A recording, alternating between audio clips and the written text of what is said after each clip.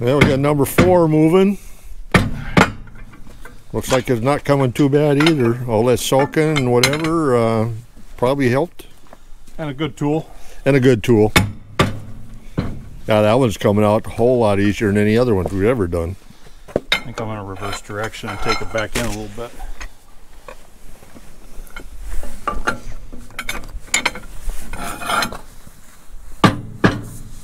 Yeah, it's not turning that bad, really.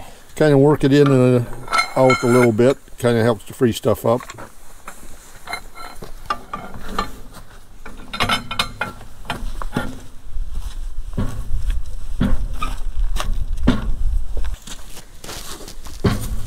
As he's turning, you can see just all kinds of stuff coming out here.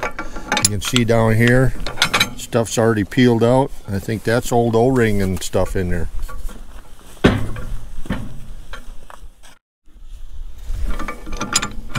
Getting close on number four. All kinds of crud coming out of there. You might be out of the threads now.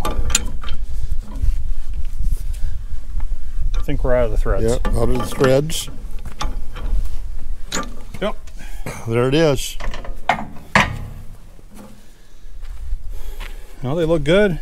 Yeah, you see, here's where we're binding, I'm sure. Yeah. You can see how she just crusty in there. Oh, it's buildup. It's even Yep. up over the O-ring right there. Yeah. Not much of the O-ring. Lots of good stuff on the threads, though. I like to see that. Yeah. When we're talking about the threads, that's in this area right here when it comes out. One reason when you work that back and forth is if it binds too much, when you almost have one or two threads left in there, you'll have a tendency to pop them loose. So we kind of keep working them back and forth, keeps uh, tension off them last couple of threads. Okay, we're on number three. You can see he's got the extension on there. Yeah, that was coming loose. You hear popping. So number two is still in question yet.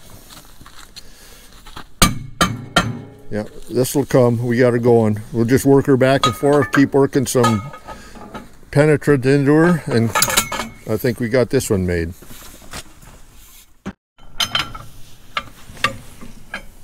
Okay, we've had that out. We've run it in.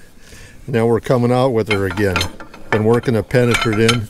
At least it's finally, uh, it's not snapping in there anymore. It's like it's really tight. So I think we're getting that penetrant all kind of into where we need her.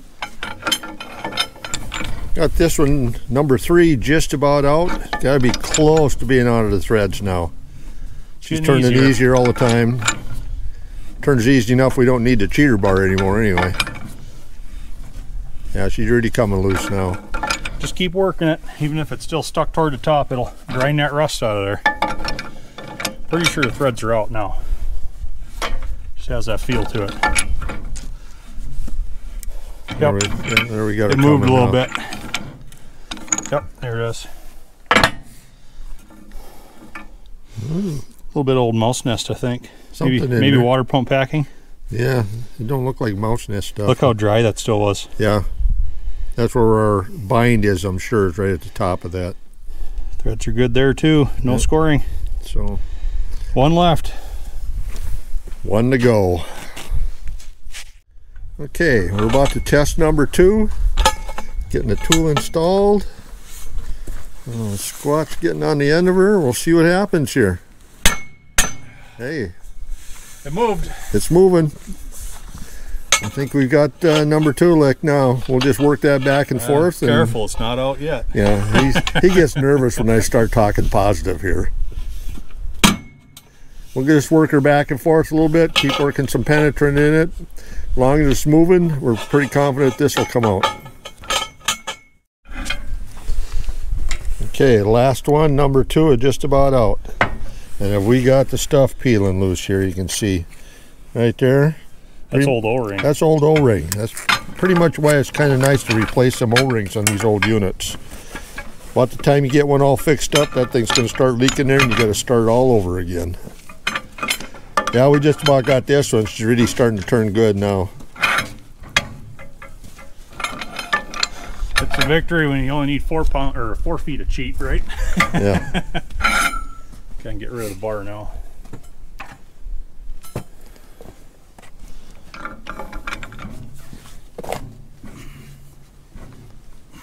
Still stiff in there though. Still tight. It's that rust. Get some more stuff in through that set screw hole. At least that gets us below that O-ring.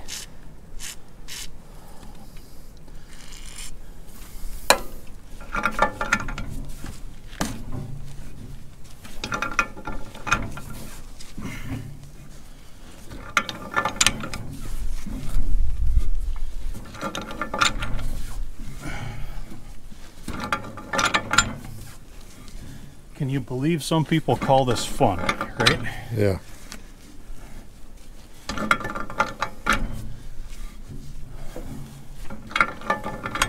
I think we're just about out with it. Gotta be just about out. It's getting really, really easy to turn now. Kind of turn and pull out at the same time. Wobbled a little bit. Yep, there, There we go. got her. Success. Well, we haven't seen threads yet. yeah, those got a little mashed. Yeah, They're a little bit flat. You can see a little bit in there. When I can see the head, it doesn't look bad. That's the important part. Yeah. As long as the head's good on them threads. From what we can see on this side, she looks pretty good. Looks like maybe the top thread up in here took it a little bit, Yeah. but I got about a dozen good ones below it, so I'm not worried about that at all. Okay. Success. Found some surprises in this one. You never know what you're going to find in some of these things that sat around for a while. about, just about have it dug out. Yeah, look at that. I don't even know what that is. It looks almost like a out of a seat material or something. Big old gob of it anyway, good lord. Something made a home in there. Talk about something that'll uh, cause cooling problems. Oh keeps- my god, look at the pile. Yeah, it was totally packed between two and three. Yeah. There, I finally, yeah, that's it. I got it out. Huh. All kinds of nice surprises. You just never know, do you?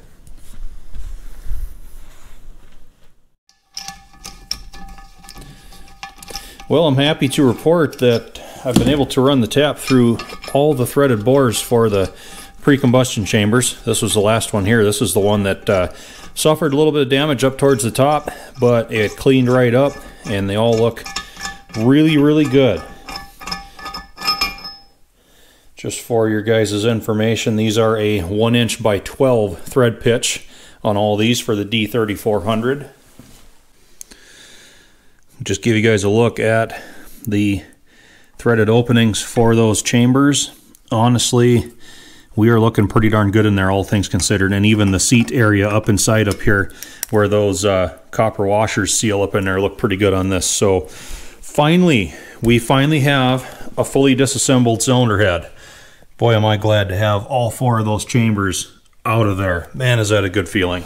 And like I said, we've got two sets to uh, choose from now. We just need to get four good ones out of all of these. This is the one that uh, suffered the most damage on the threads coming out of 2115's old head, and it honestly cleaned up a lot better than I thought it would. Um, quite a bit more cleaning left to do on it, but between those eight, I should find a serviceable set of four. So, all right, we'll take victories anywhere we can get them, right? That was quite a prolonged process trying to get those things out. We put it through that Evaporust soak for about a week, got everything pretty well cleaned out inside of there, and then uh, I soaked the heck out of that with uh, PB Blaster and a couple of other uh, homebrew uh, uh, penetrating oil mixtures for about three weeks after that.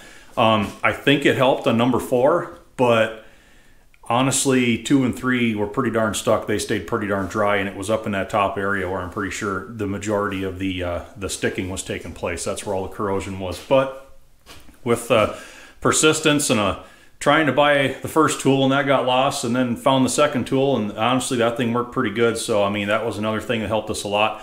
We don't have the flex of like a homebrew welded up bolt.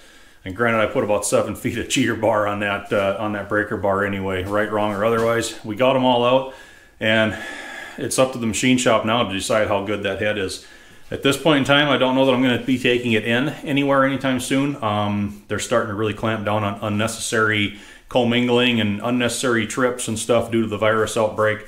Keep in mind too that by the time you guys see these videos, they're usually at least a week old.